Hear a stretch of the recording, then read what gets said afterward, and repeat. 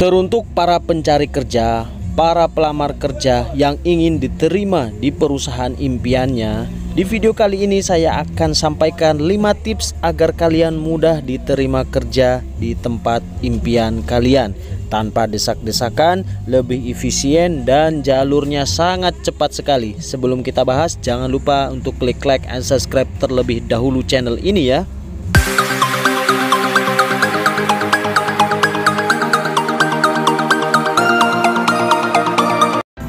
Di Indonesia bahkan mungkin di luar Indonesia setiap tahunnya akan selalu ada momen-momen di mana banyak sekali para pelamar kerja, para pencari kerja yang ingin bekerja di sebuah perusahaan. Tentu di saat momen itu akan terjadi desak-desakan persaingan yang sangat ketat dengan banyak orang, dengan banyak pelamar kerja yang sangat bersamaan. So, di video kali ini saya akan menyampaikan kepada Anda ada lima tips yang sangat mudah sekali dan ini lebih ringkas, lebih efisien agar Anda bisa cepat diterima di sebuah perusahaan. Yang nomor pertama, nih ya, tips yang nomor utama dan ini yang sangat-sangat ampuh dan sangat-sangat jitu bisa kita praktekkan, yaitu punya orang dalam. Yaps, ketika kita punya orang dalam, kenal dengan orang dalam, punya koneksi dengan orang dalam, maka itulah sudah menjadi modal yang sangat penting agar kita bisa cepat bekerja di perusahaan yang kita inginkan. Bagaimana tidak, kerja keras akan kalah dengan orang dalam. Kita yang pintar akan kalah dengan orang dalam. Iya, yeah, itu sudah banyak sekali faktanya, Bro ya. Jadi sudah tidak kaget lagi. Jadi segeralah jika Anda masih kuliah, jika Anda masih sekolah, segeralah mencari kenalan atau relasi dari orang dalam di perusahaan yang ingin Anda masuki, yang ingin Anda kerja di sana. Oke. Kekuatan orang dalam ini benar-benar luar biasa loh, jangan diremehkan. Jelas ya? Punya orang dalam. Ya, bahkan ini bisa masuk lebih gratis atau ya cukup memberi uang sebagai tanda terima kasih udah cukup kita udah bisa masuk kerja deh. Tanpa interview tanpa desak-desakan tanpa panas-panasan. Nah ya kan? Cukup hanya dengan orang dalam. Yang kedua tips agar anda mudah diterima di sebuah perusahaan. Yaitu dengan anda harus good looking Nah, memiliki paras yang good looking, penampilan yang good looking menjadi nilai plus di sebuah perusahaan. Ingat ya, jangan salah mengartikan good looking ini harus ganteng dan harus cantik. Cuma memang lebih afdol Anda harus ganteng dan lebih cantik. Cuma kebanyakan arti good looking di sini Anda harus wangi, Anda harus bersih, rapi gitu ya. Jadi penampilan Anda benar-benar menunjukkan bahwa Anda siap bekerja di perusahaan itu. Ya masa ketika Anda mau bekerja atau interview ya kan Anda gak pakai bedak atau apa pun itu. So yang kedua adalah harus good looking. Oke. Okay? Tapi kalau Anda lebih ganteng, lebih cantik, ya bisa berpeluang lebih banyak deh untuk diterima di perusahaan tersebut. Tips yang nomor tiga adalah ini juga penting nih. Anda mau bayar biaya masuk agar bisa diterima. Nah, sekarang itu sudah marak dan bahkan banyak sekali ya kita ketika kita mau cari duit tapi kita harus ngeluarin duit dulu. Ya ya kan? Komen silahkan. Pasti ada banyak yang punya pengalaman seperti itu. Ada calonnya. Nah, ya kan? Aslinya perusahaan itu tidak e, memungut uang aslinya ya kan, tidak menagih uang cuma berhubung ada calonnya, ada oknumnya, akhirnya harus bayar. Ketika Anda sudah mau bayar ya kan? Untuk menjadi karyawan untuk menjadi sesuatu di sebuah perusahaan, ya jelas dong pasti akan menjadi prioritas bagi Anda, ya.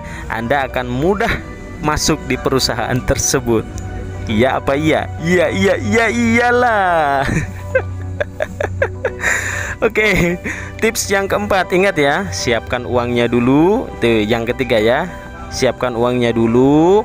Masalah anda kompeten masalah anda punya pengalaman atau apalah itu udah gak penting ya. Yang penting ada mau bayar besar masuk ke perusahaan itu. Dan ada juga nih perusahaan-perusahaan yang pinter sekali dalam rekrut pe pegawainya. Yaitu ada biaya admin. Aduh sejak kapan itu ya masuk ke sebuah perusahaan ada biaya admin ya kan? Kalau kita udah bayar admin misalkan 100 ribu aja dikali berapa ratus orang kan itu udah dapat duit banyak.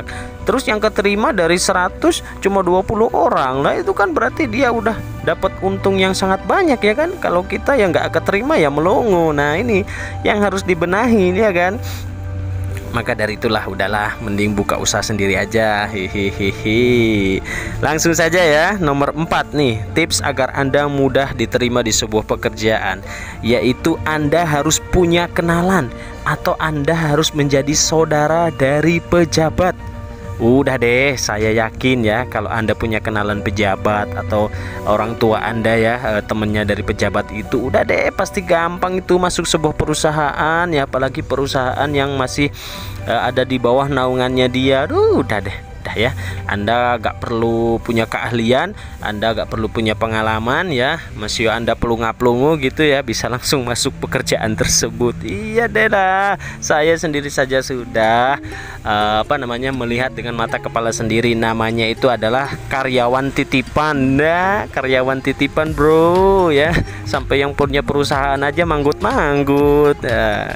oke yang terakhir yang terakhir tanpa basa-basi lah gila ya. Yang terakhir adalah Anda harus kerja keras. Anda harus punya pengalaman yang banyak rajin jujur dedikasi tinggi konsisten loyal. Nah itulah yang terakhir ya. Salah satu syarat agar Anda bisa diterima. Iya kenapa itu yang terakhir? Ya karena itu tadi ya. Anda sudah kerja keras, Anda punya pengalaman banyak, Anda punya keahlian, Nah ya kan? Anda jujur Anda rajin Anda loyal akan kalah dengan orang dalam kekuatan orang dalam. Orang yang nggak tahu apa-apa yang punya nggak punya pengalaman apa-apa tapi dia punya kekuatan orang dalam jelas dong ya. Akan auto keterima ya. Anda akan kalah tersingkirkan. Oke? Jelas ya?